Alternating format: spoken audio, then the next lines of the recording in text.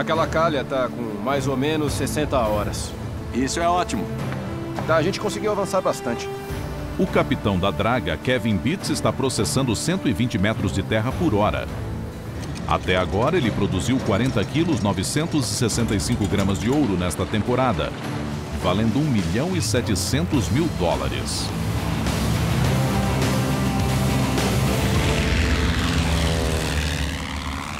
Avião.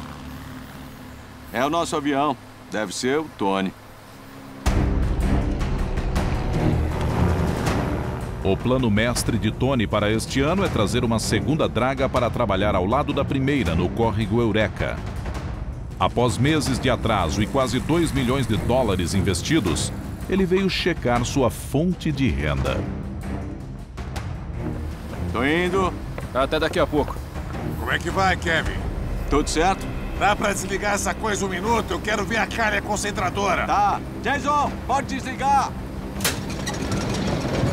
Eu tenho que investir mais tempo na draga pra garantir a eficiência dela. Porque é com ela que eu ganho dinheiro, só que também é com ela que eu perco dinheiro. Então o melhor para as finanças é eu checar se o ouro tá entrando na calha concentradora. Tony está perdendo o controle sobre seus gastos e precisa recuperar cada grão de ouro possível na operação de Kevin. Pode enrolar, próximo. O ouro deve assentar nos primeiros metros da calha.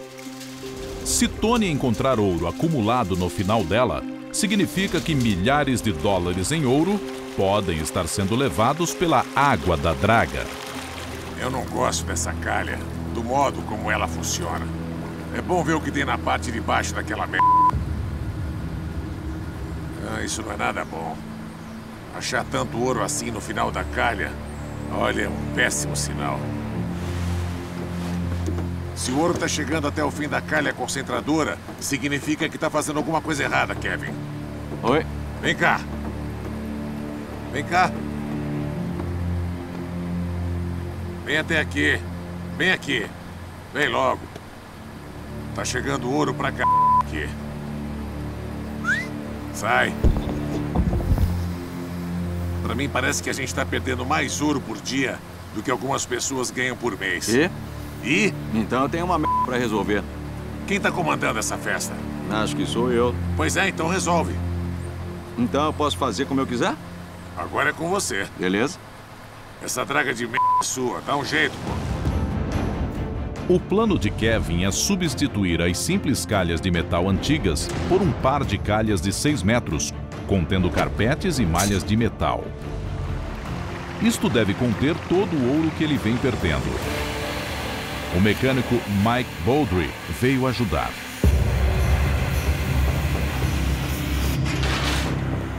A gente vai fazer o possível no seco e assim que ela estiver pronta, a gente vai instalar bem rápido e pronto. Aí a draga pode voltar a trabalhar. Isso. Até que ela tá bem estável. É um pouco mais pesada do que a gente esperava, mas deu tudo certo. Agora é só sentar e trabalhar. Agora que tá pronto, a gente pode ligar a draga e voltar a pegar ouro.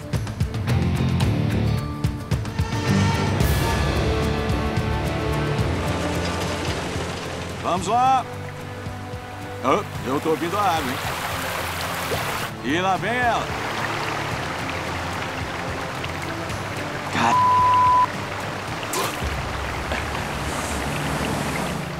Elas não caíram, já é um bom começo. É, parece que deu certo.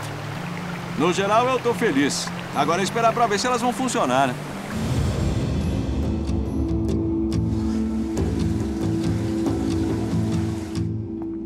E aí, como é que tá? A gente tá lucrando ou não? Não sei, Vamos a ver. gente tava te esperando. Ótimo, agora pesa essa merda pra gente ver o resultado. Para continuar em direção à meta de 56,5 kg de Tony para a temporada, Kevin precisa de cerca de 1,5 kg por semana. Vai, vamos pesar isso logo. 200, 500, já tem 1,400, 700. 2 quilos, 2,200, 500, 800, ótimo. 4 quilos mais 200, 5 quilos, 5,300, 5,5, ótimo. 5,900, 6,200, 6 quilos e 415 gramas. Ouro pra cá. Pra mim tá ótimo. Eu também acho bem razoável. Então é isso, mais de 6 quilos. Tá ótimo, adorei. E como foi o resultado das extensões? Tinha alguma Tinha um coisa nelas? sim. Tá, então vamos pesar. Tá. De qual cara isso aí É veio? o resultado das duas extensões. Entendi. Esse ouro aí é fino que nem farinha, não é? É. Tá, lá vem. 30 gramas, 60, 90, 110, 120 gramas. Eu acho que é bastante. A gente foi no ferro velho, achou calhas velhas, modificou um pouco, instalou e ganhou 5 mil. Tá ótimo, perfeito. Olha, foi um ótimo trabalho. Continua E assim. qual é o nosso total agora? 6,535. Então, mais ou menos 275 mil dólares, não é?